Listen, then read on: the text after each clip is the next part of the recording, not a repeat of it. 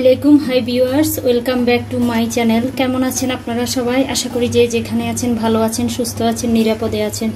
দোয়া করি আপনারা ভালো থাকুন, সুস্থ থাকুন এবং নিরাপদে থাকুন। আল্লাহর রহমতে আপনাদের দোয়া মতো আমিও ভালো আছি। তো চলে আসলাম নতুন আরেকটা ভিডিও নিয়ে আপনাদের সাথে কিছুক্ষণ সময় কাটানোর জন্য। আশা করি সম্পূর্ণ ভিডিওটা জুড়ে আপনারা আমার সাথেই থাকবেন। তো আজকে আমি একটা রেসিপি দেখাবো। আমি হচ্ছে আজকে কাতলা মাছ রান্না করব।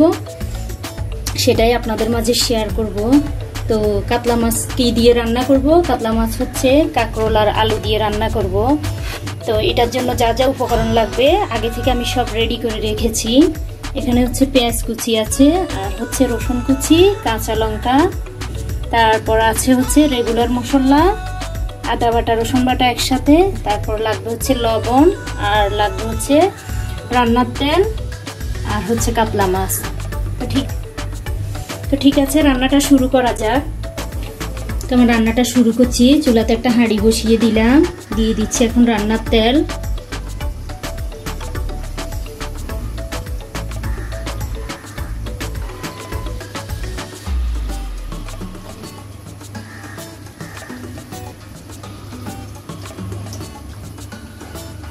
তো তেলটা গরম হওয়া পর্যন্ত অপেক্ষা করছি।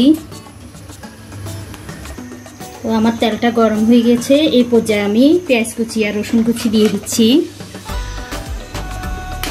তো একটু মিডিয়াম টু লো আছে দিব, নাহলে কিন্তু পেঁয়াজগুলো পুড়ে যাবে।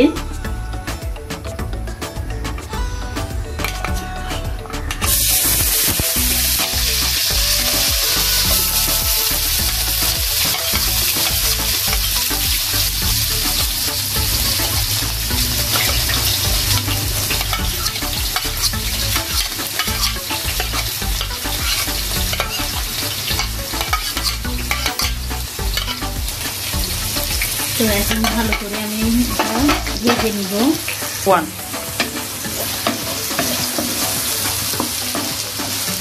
তো পেঁয়াজ আর রসুনটা আমি ব্রাউন করে ভেজে নিব। তো ভাজা হয়ে গেলে আমি আদা বাটা রসুন বাটাটা একসাথে দিয়ে দিব।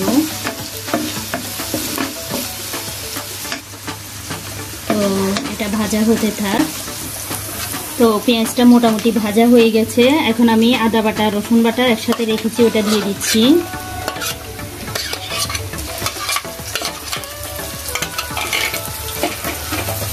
আবার একটু নেড়ে দিচ্ছি ভালোভাবে।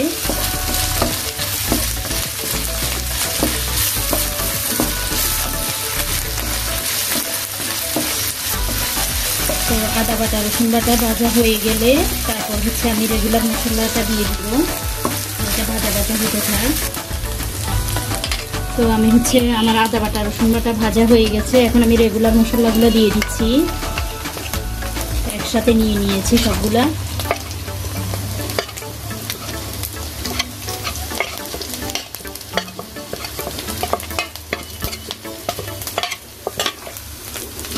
এই পর্যায়ে একটু পানি দিয়ে দিব, যাতে করে মশলাগুলো পুড়ে না যায়।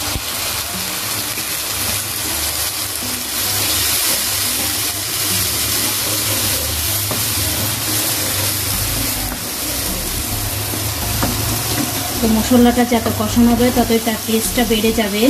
তো আমি মশলাটা কষানো পর্যন্ত অপেক্ষা করছি। তো এই পর্যায়ে আমি এক চামচ চিনি দিয়ে দিচ্ছি টেস্টটা বাড়ার জন্য।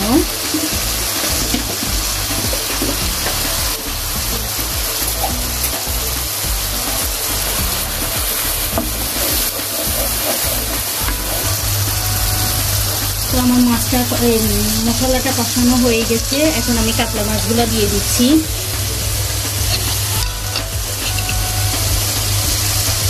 এগুলো একটু কষিয়ে নিব, কষিয়ে আবার উঠিয়ে নিব। তারপর হচ্ছে কাঁকরোল আর আলুগুলা সব শেষে দিয়ে দিব।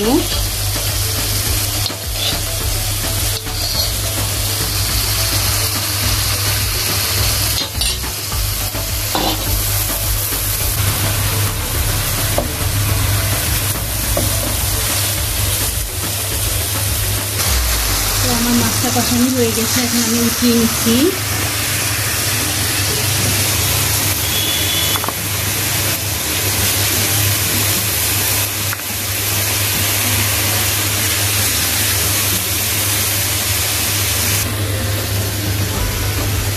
তো এই পর্যায়ে আমি কাঁকরোলার আলুগুলো দিয়ে দিচ্ছি।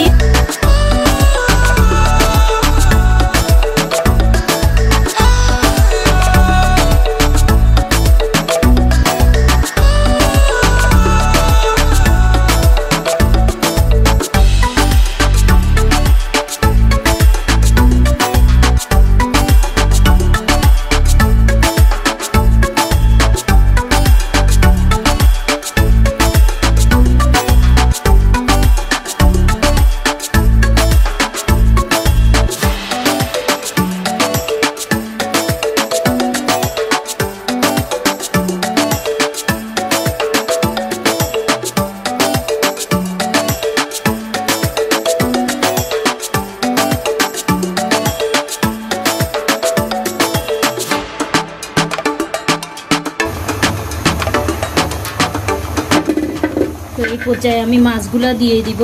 আগে যে কষিয়ে রেখেছিলাম ওই মাছগুলা।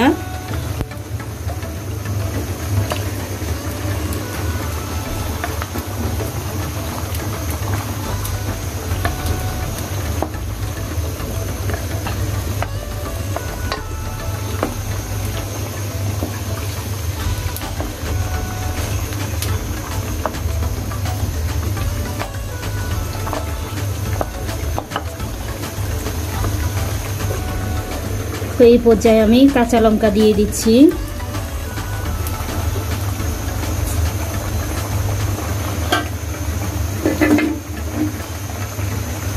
তো আবারও ঢেকে দিচ্ছি। তো এখন ঢাকনাটা খুলে দেখছি তরকারি কি অবস্থা। অলরেডি আমার তরকারি হয়ে গেছে অলমোস্ট আপনাদের জীবন সুখময় হোক, আপনাদের জীবন শান্তিময় হোক। প্রত্যাশা রেখে আজকের মতো এখানেই বিদায় নিচ্ছি। আসসালামু আলাইকুম, আল্লাহ হাফেজ।